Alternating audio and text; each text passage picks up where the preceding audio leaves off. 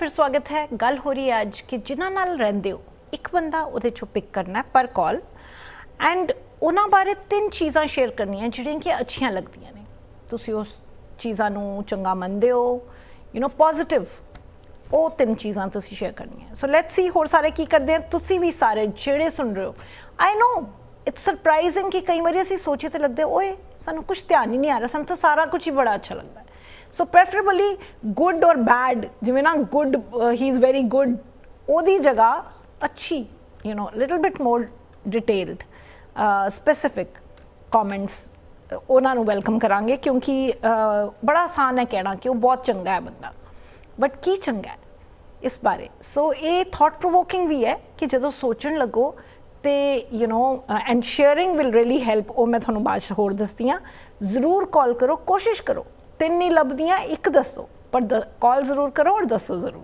Let me ਸੀ ਇਹ ਕੀ ਕਹਿ ਰਹੇ ਨੇ। ਹੈਲੋ ਹਾਂਜੀ ਸਤਿ ਸ਼੍ਰੀ ਅਕਾਲ। ਹੈਲੋ ਅਰਵਿੰਦ ਸਤਿ ਸ਼੍ਰੀ ਅਕਾਲ। ਸਤਿ ਸ਼੍ਰੀ ਅਕਾਲ ਸੁਦਰਸ਼ਨ ਜੀ ਥੈਂਕ ਯੂ ਫॉर ਕਾਲਿੰਗ ਦੱਸੋ ਕੀ ਕਹਿੰਦੇ ਹੋ ਔਰ ਕਿਹਦੇ ਬਾਰੇ ਸ਼ੇਅਰ ਕਰ ਰਹੇ ਹੋ ਅੱਜ? ਮੈਂ ਆਪਣੀ ਡਾਟਰ ਇਨ ਲਾ ਦੇ ਬਾਰੇ ਸ਼ੇਅਰ ਕਰ ਰਹੀ ਹਾਂ। ਜੀ ਠੀਕ ਹੈ। ਹਾਂਜੀ ਮੈਂ ਉਹਦੇ ਨਾਲ 21 ਸਾਲ ਤੋਂ ਰਹਿ ਰਹੀ ਹਾਂ ਪਿਛਲੇ। ਵਾਓ ਅੱਛਾ ਜੀ। ਔਰ ਜਿਸ ਤਰ੍ਹਾਂ ਤੁਸੀਂ ਇੱਕ ਪੇਜ ਦੇ ਉੱਤੇ ਲਿਸਟ ਬਣਾਉਂਦੇ ਹੋ ਪਾਰਟੀਸ਼ਨ ਕਰ ਦਿੰਦੇ ਹੋ ਇੱਧਰ ਖਾਮੀਆਂ ਇੱਧਰ ਅੱਛਾਈਆਂ। ਜੀ। ਖਾਮੀਆਂ ਨੂੰ ਤੁਸੀਂ ਭੁੱਲ ਜਾਓ। ਅੱਛਾਈਆਂ ਨੂੰ ਮੈਂ ਪਕੜ ਲੈਂਦੀ ਹਾਂ। ਠੀਕ ਹੈ। ਅਗਰ ਕੋਈ ਖਾਮੀ ਕਮੀ ਆ ਜਾਏ ਤੇ ਮੈਂ ਉਸ ਅੱਛਾਈ ਨੂੰ ਪਹਿਲੇ ਦੇਖਣੀ ਆ ਤੇ ਇਸ ਕਰਕੇ ਕਮੀ ਆਪਣੇ ਆਪ ਦੂਰ ਹੋ ਜਾਂਦੀ ਹੈ। ਜੀ ਬਿਲਕੁਲ she is very loving very caring ਔਰ ਮਤਲਬ ਸਭ ਅੱਛਾਈਆਂ ਨੇ। ਲੇਕਿਨ ਸਾਰੀਆਂ ਹੀ ਅੱਛਾਈਆਂ ਹੋਣ ਕੋਈ ਕਮੀ ਨਾ ਹੋਵੇ ਤੇ ਫਿਰ ਲਾਈਫ ਹੀ ਬੜੀ ਬੋਰੀਅਤ ਹੋ ਜਾਂਦੀ ਹੈ ਸੋ ਕਦੀ ਨਾ ਕਦੀ ਟਕਮਕ ਹੋ ਵੀ ਜਾਂਦੀ ਹੈ ਕਹਿਣਾ ਪੈਂਦਾ ਵੀ ਇਹ ਠੀਕ ਨਹੀਂ ਹੈ ਜਾਂ ਉਹ ਠੀਕ ਉਹ ਨਹੀਂ ਹੈ ਠੀਕ ਹੈ ਪਰ ਇਸ ਵੇਲੇ ਅਸੀਂ ਕਨਸੈਂਟਰੇਟ ਕਰਾਂਗੇ ਵੀ ਉਹਨਾਂ ਚ ਹੁਣ ਜਿਵੇਂ ਲਵਿੰਗ ਐਂਡ ਕੇਅਰਿੰਗ ਹੈ ਹੋਰ ਕੀ ਹੈ? ਬਹੁਤ ਬਹੁਤ ਖਿਆਲ ਕਰਦੀ ਹੈ ਜੀ। ਬਿਲਕੁਲ ਕੰਮ ਵੀ ਕਰਦੀ ਹੈ ਖਿਆਲ ਵੀ ਮੇਰਾ ਪੂਰਾ ਕਰਦੀ ਹੈ ਹਾਂਜੀ। ਕਿਤੇ ਮੈਂ ਜਾਣਾ ਹੋਵੇ ਆਣਾ ਹੋਵੇ she is ready to go with me ਹਾਂ ਔਰ ਬਿਲਕੁਲ ਆਪਣਾ ਮੇਰੇ ਖਾਣੇ ਦਾ ਖਿਆਲ ਹਾਲਾਂਕਿ ਉਹ ਨਾਨ ਵੈਜ ਹੈ ਮੈਂ ਵੈਜੀਟੇਰੀਅਨ ਹਾਂ ਲੇਕਿਨ ਉਹ ਪੂਰਾ ਖਿਆਲ ਰੱਖਦੀ ਹੈ ਕਿ ਮੈਂ ਸੋ ਹੋਰ ਐਜ਼ ਅ ਪਰਸਨ ਉਹਨਾਂ होर लब्बो कोई चीज़ा? Person she is very positive अच्छा। मेन चीज़ जड़ी पॉजिटिव है। हम्म। शायद उन्हें मेरे को लिखती है चीज़। हाँ। सो पॉजिटिव है ध्यान पहले उड़ा मतलब संस्कार है हाँ। सो सब कुछ है। ठीक है। एक रह गया हाल। है एक पॉजिटिव है एक लविंग केयरिंग है एक और। एक और। बड़ी फनी है। अच्छा। मुख है। oh, ओह नाइस और मुँह हमेशा स्माइल है। कोई भी घर आ जाए तो मुँह स्माइल है हमेशा ही। oh। सबसे बड़ी बड़ी खूबी है। बहुत बढ़िया। बहुत बढ़िया।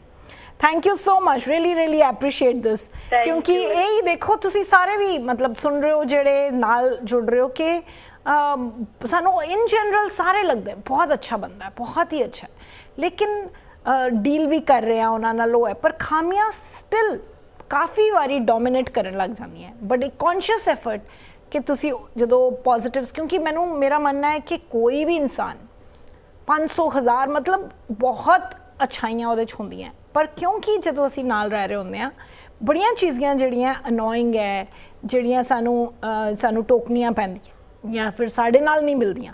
ਡਿਸਐਗਰੀਮੈਂਟ ਲਾਈਕ ਯੂ نو ਅਸੀਂ ਇੱਕ ਤਰ੍ਹਾਂ ਨਾਲ ਕਰਦੇ ਆ ਉਹ ਦੂਸਰੀ ਤਰ੍ਹਾਂ ਕਰਦੇ ਆ ਭਾਵੇਂ ਜਿੰਨਾ ਮਰਜ਼ੀ ਚੰਗੇ ਬੁਰੇ ਦੀ ਗੱਲ ਨਾ ਵੀ ਡਿਵਾਈਡ ਕਰੀਏ ਉਹਦੇ।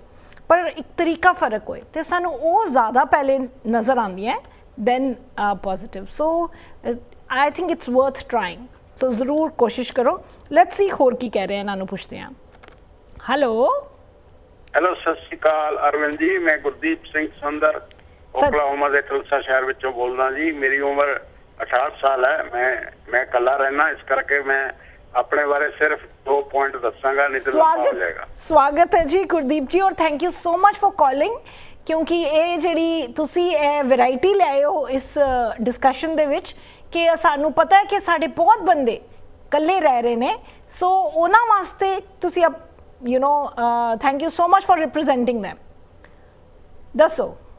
ਮੈਂ ਕਹਿੰਦਾ ਜੀ ਕਿ ਕਹਿੰਦੇ ਨੇ ਕਿ ਸਿਰ ਹੈ ਤਾਂ ਤਾਜ ਹੈ ਜਾਨ ਹੈ ਤਾਂ ਜਹਾਨ ਹੈ। ਸਹੀ ਹੈ। ਸੋ ਸਭ ਤੋਂ ਪਹਿਲਾਂ ਮੈਂ ਆਪਣੇ ਆਪ ਨੂੰ ਠੀਕ ਰੱਖਣ ਦੇ ਲਈ ਇਸ ਉਮਰ ਦੇ ਵਿੱਚ ਮੈਂ ਨਹੀਂ ਚਾਹੁੰਦਾ ਕਿ ਮੈਂ ਬੱਚਿਆਂ ਤੇ ਜਾਂ ਸਮਾਜ ਦੇ ਉੱਤੇ ਬੋਝ ਬਣਾ ਇਸ ਲਈ ਮੈਂ ਆਪਣੀ ਫਿਜ਼ੀਕਲ ਅਪੀਅਰੈਂਸ ਨੂੰ ਫਸਟ ਪ੍ਰਾਇੋਰਟੀ ਠੀਕ ਉਹਦੇ। ਲਈ ਮੈਂ 5 ਦਿਨ ਜਿਮ ਜਾਣਾ ਅੱਛਾ। ਦੋ ਦਿਨ ਜਿਹੜਾ ਹੁੰਦਾ ਉਹ ਮੈਂ ਯੋਗਾ ਕਰਦਾ ਜਾਂ ਵਾਕਿੰਗ ਕਰਦਾ। ਮਾਰਨਿੰਗ ਵਾਕਿੰਗ ਜਾਂ ਯੋਗਾ ਅਲਟਰਨੇਟਿਵ ਤਾਂ ਕਿ ਮੇਰਾ ਜਿਹੜਾ ਸਾਰਾ ਦਿਨ ਜੇ ਜਿਮ ਕਰੂੰਗਾ ਫਿਰ ਮੇਰਾ ਇੰਟਰਸਟ ਖਤਮ ਹੋ ਜਾਊਗਾ। ਇੰਟਰਸਟ ਨੂੰ ਠੀਕ ਰੱਖਣ ਲਈ ਪਲੱਸ ਯੋਗਾ ਕਰ ਲੈਣਾ ਪਲੱਸ ਵਾਕਿੰਗ ਕਰ ਲੈਣਾ ਪਰ 5 ਦਿਨ ਮੈਂ ਜਿਮ ਕਰਦਾ। ਉਹਦੇ ਲਈ 2 ਦਿਨ ਮੈਂ ਬਾਹਰ ਜਿਮ ਜਾਣਾ ਤੁਰ ਕੇ ਜਾਣਾ ਇੱਕ ਵਾਰੀ ਤੁਹਾਨੂੰ ਦੱਸਿਆ ਸੀ ਤੁਹਾਡੇ ਪ੍ਰੋਗਰਾਮ 'ਚ ਧੁੱਪੇ ਜਾਣਾ ਧੁੱਪੇ ਆਉਣਾ।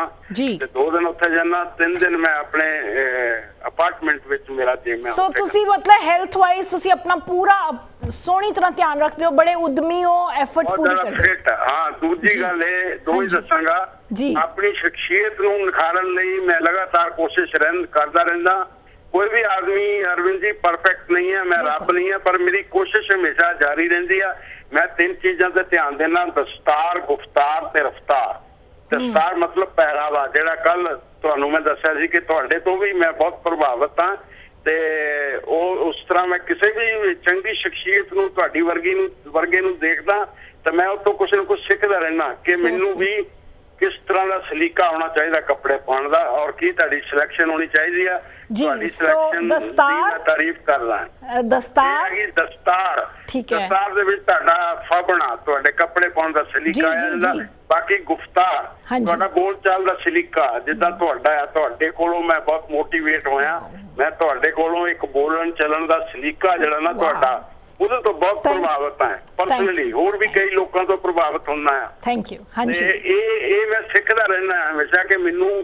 ਬੋਲਣਾ ਮਿੱਠਾ ਬੋਲਣਾ ਅਜੇ ਮੇਰੀ ਬੋਲੀ 'ਚ ਇੰਨਾ ਸੁਧਾਰ ਨਹੀਂ ਆਇਆ ਬਟ ਆਈ ਐਮ ਟਰਾਈਂਗ ਤੀਜਾ ਹੈਗਾ ਰਫਤਾਰ ਕਿ ਤੁਸੀਂ ਚੱਲਦੇ ਕਿੱਦਾਂ ਹੋ? ਤੇ ਜਿਸ ਤਰ੍ਹਾਂ ਵਿਨੋਦ ਖੰਨਾ ਸੀ ਉਹਦੀ ਚਾਲ ਦਾ ਮੈਂ ਕਾਇਲ ਸੀਗਾ। ਉਹ ਤਾਂ ਵਿਚਾਰਾ ਹੁਣ ਨਹੀਂ ਰਿਹਾ ਪਰ ਉਹਦੀ ਚਾਲ ਮੈਨੂੰ ਬਹੁਤ ਪਸੰਦ ਸੀ। ਤੇ I am trying to like walk like a Vinod Khanna but I am not perfect yet but I am trying ਹੈ। ਥੈਂਕ ਯੂ ਜੀ ਮੈਂ ਲੰਬਾ ਨਹੀਂ ਕਰਨਾ ਮੈਂ ਦੋ ਹੀ ਗੱਲਾਂ ਦੱਸਾਂਗਾ। Thank you so much thank you so much really very nice actually ਆਪਣੇ ਬਾਰੇ ਤਾਂ ਹੀ ਮੈਂ ਜ਼ਰੂਰ ਕਿਹਾ ਸੀ ਕਿ ਜੋ ਹੈ ਉਹ ਆਪਣੇ ਬਾਰੇ ਵੀ ਬੋਲੋ। ਕਿਉਂਕਿ ਔਖਾ ਹੈ। ਅਸੀਂ ਜਾਂ ਬਹੁਤ ਹੰਬਲਨੈਸ ਦੇ ਵਿੱਚ ਮੋਡੈਸਟੀ ਵਿੱਚ ਆਪਣੇ ਬਾਰੇ ਨਹੀਂ ਬੋਲਦੇ, ਜਾਂ ਫਿਰ ਅਸੀਂ ਇੰਨੇ ਹੋਏ ਹੋਏ ਆ ਕਿ ਸਭ ਕੁਝ ਸਾਨੂੰ ਸਹੀ ਹੀ। ਲੱਗਦਾ ਸੋ ਚੁਣ ਕੇ ਤਿੰਨ ਚੀਜ਼ਾਂ ਜਾਂ ਦੋ ਚੀਜ਼ਾਂ ਬੋਲਨੀਆਂ ਬਹੁਤ ਅੱਛੇ ਜਿਵੇਂ ਗੁਰਦੀਪ ਜੀ ਨੇ ਸ਼ੇਅਰ ਕੀਤਾ ਕਿ ਉਹਨਾਂ ਨੂੰ ਇੱਕ ਫਿਜ਼ੀਕਲ ਅਪੀਅਰੈਂਸ ਜਾਂ ਬਾਡੀ ਜਿਹੜੀ ਉਹਨਾਂ ਨੂੰ ਫਿਟ ਰੱਖਣ ਵਾਸਤੇ ਉਦਮ ਹੈ, ਉਹ ਬਹੁਤ। ਔਰ ਇੱਕ ਜਿਹੜੀ ਖਾਸ ਤੌਰ ਤੇ ਗੱਲ ਕਿ ਹਮੇਸ਼ਾ ਇੰਪਰੂਵ ਕਰਨ ਦਾ ਜਦੋਂ ਅਸੀਂ ਇਹ ਸੋਚੀਏ ਕਿ ਅਸੀਂ ਪਰਫੈਕਟ ਨਹੀਂ ਆ ਬਟ ਗੋਲ ਹੈ ਅੱਗੇ ਹੀ ਅੱਗੇ ਹੋਰ ਯੂ نو ਬਿਹਤਰ ਕਰਨ ਦਾ। ਭਾਵੇਂ ਉਹ ਪੇਰੈਂਟਸ ਹੈ ਫਿਟਨੈਸ ਹੈ, ਜਾਂ ਲਹਿਜ਼ਾ ਹੈ, ਗੱਲਬਾਤ ਕਰਨ ਦਾ ਹੈ, ਜਾਂ ਡਿਮੀਨਰ ਹੈ, ਜਿਹੜਾ ਤੁਸੀਂ ਕਿਸ ਤਰ੍ਹਾਂ ਪੇਸ਼ ਆਉਂਦੇ ਹੋ ਕਿਸੇ ਨਾਲ। ਸੋ ਹਰ ਚੀਜ਼ ਦੇ ਵਿੱਚ ਜਦੋਂ ਸੈਲਫ ਡਿਵੈਲਪਮੈਂਟ ਵੱਲ ਧਿਆਨ ਹੋਏ, ਤੇ ਕੀ ਬਾਤ ਹੈ। ਲੈਣੀ ਹੈ ਇੱਕ ਛੋਟੀ ਜਿਹੀ ਬ੍ਰੇਕ ਵਾਪਸ ਹਾਜ਼ਰ ਹੋਣੀ